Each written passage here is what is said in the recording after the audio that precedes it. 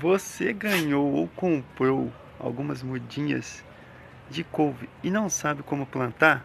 Precisa de algumas dicas? Então assiste comigo o vídeo até o final para você tá aprendendo aí como plantar a sua mudinha de couve. Vem comigo!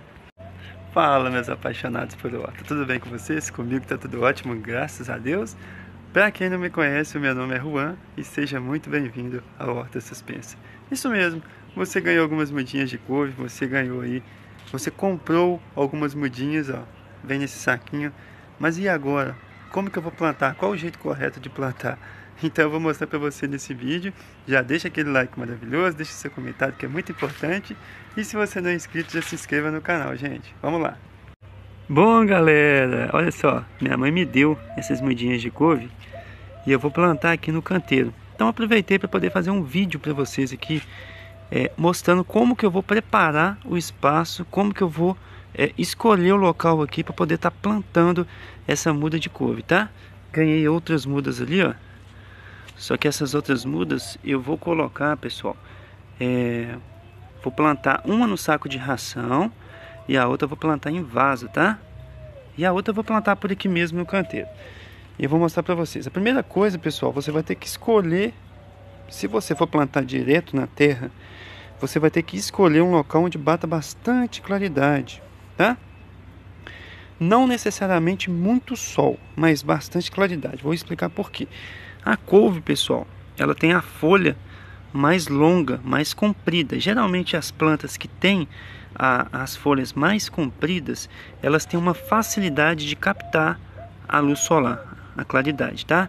Para poder facilitar no processo da fotossíntese. Então, é, ela gosta de sol? Gosta, tá?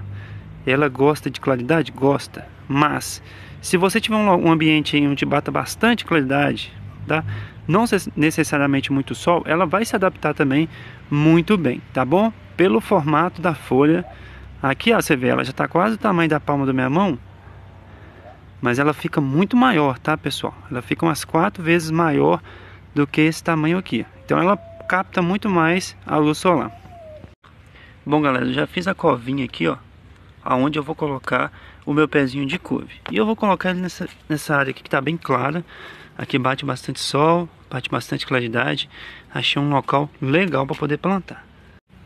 Próximo passo aqui, a gente vai ter que tirar, né, esse plásticozinho aqui, ó, sem desmanchar o torrão do pezinho de couve, tá? Porque se você desmanchar o torrão, ficar só as raízes, a planta vai sentir muito, pessoal, né? Essa troca de ambiente, vai sentir muito e pode até morrer, tá? Então é muito importante que você mantenha esse torrão. Tire o plástico aqui, tá? Se você quiser cortar com a tesoura, corta certinho. Deixa o torrão, tá? E vai colocar ali certinho, sem desmanchar o torrão. Olha só, galera. Tirei aqui, ó, o plástico, sem desmanchar o torrão, tá vendo como é que tá? Agora o que que eu vou fazer, pessoal? Antes de plantar, eu peguei um copinho aqui, ó, de esterco e eu vou jogar um pouquinho aqui na cova, ó. ó. Tá vendo? Não precisa ser muito, um pouquinho. Por que, galera, que eu tô fazendo isso? Porque é o seguinte, assim que eu colocar aqui, ó, o pezinho de couve, olha só como é que ficou certinho ele, quando as raízes começarem a se desenvolver novamente, ela vai ter um contato ali já com esse adubo, tá?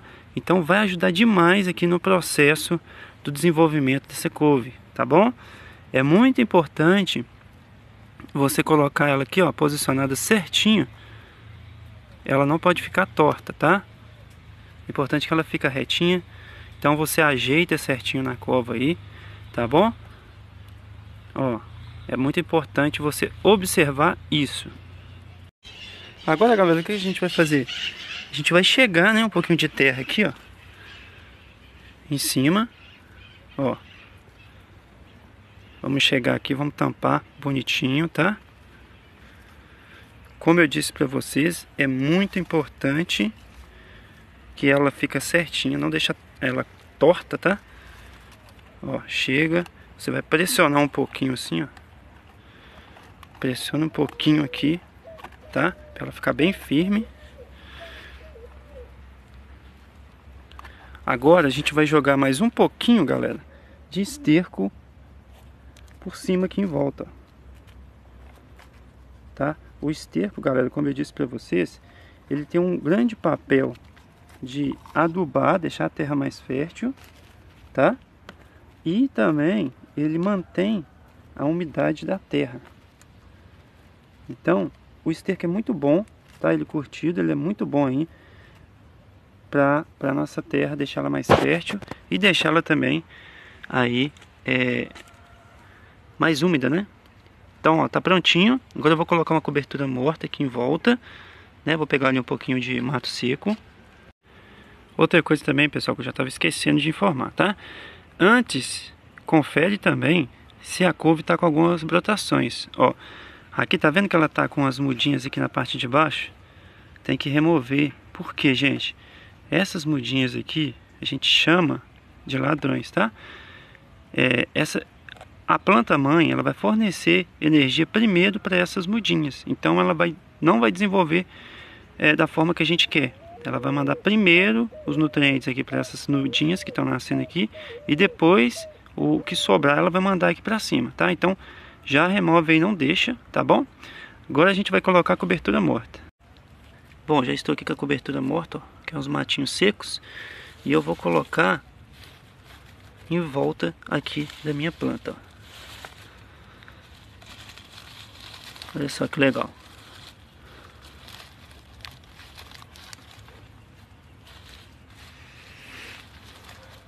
Faça isso, tá?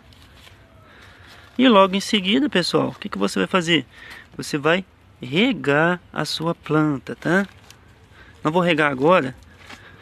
Por quê? Porque eu vou regar todas as minhas plantas em seguida, tá? Mas rega. Qual que vai ser a forma de estar tá regando a planta? Você vai regar ela de manhã, tá? No final do dia. Se o local que você mora aí é um local de clima ameno, né? Que é um clima mais frio, você pode regar uma vez só, sempre observa o solo. Se for um local muito quente, tá? Você pode regar mais vezes ao dia, mas também sempre observando o solo aqui, como é que está a temperatura aí da sua terra, tá? Fique atento, pessoal, às lagartas, tá? A couve, as borboletas amam as couves para poder colocar os seus ovinhos aí. Então fique atento, uma dica que eu dou, inclusive eu tenho até um vídeo aí é, mostrando, explicando, é isso daqui, ó colocar uma casca de ovo na sua horta, tá? Faça isso porque, pessoal, é, eu explico certinho no vídeo, mas vou dar um, uma explicação breve, que é o que? As, as borboletas acham que é um predador, né? E elas fogem, tá? Então elas não botam os ovinhos, tá? Você pode estar espalhando na sua horta, tem um vídeo completo aqui no canal ensinando. É só você ir lá e clicar e assistir, tá bom, pessoal? Bom, eu acho que eu não esqueci de nada, tá? O vídeo foi esse, espero que vocês tenham gostado. De coração, espero que vocês tenham gostado. Espero que eu tenha ajudado vocês. Não deixe de curtir, deixar o seu comentário se você gostou, se te ajudou, tá? Assiste os outros vídeos do canal aí, tem muito vídeo legal, muitas dicas, tá bom? Se você não é inscrito, se inscreva, ative o sininho de notificação para você não perder nada. Tudo que eu postar aqui, você vai ser notificado. Que Deus abençoe cada um poderosamente. Fique com Deus e até o próximo vídeo. Tchau.